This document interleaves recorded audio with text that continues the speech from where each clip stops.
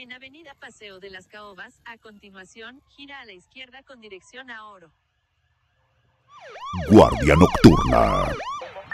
Esta noche las unidades de emergencia circulaban sobre la colonia Balcones de la Cantera en el municipio de Zapopan a toda velocidad para atender el reporte de una persona lesionada por arma de fuego.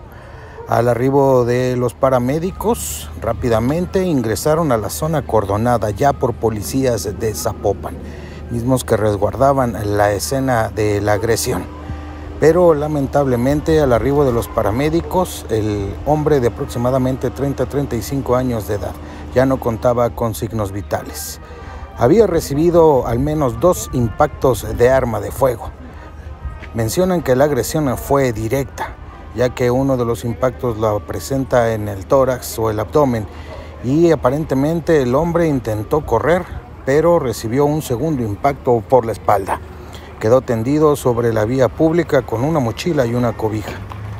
Fue identificado por familiares en el lugar. Llega el reporte por el 911 de un herido por arma de fuego. Al arribar este, es un masculino de 30 a 35 años con dos impactos. La región abdominal y otro en la región posterior del tórax. Y al mismo sin signos vitales. Testigos refieren que se escucharon varias detonaciones de arma de fuego, incluso mucha movilización de vehículos y motocicletas por la zona.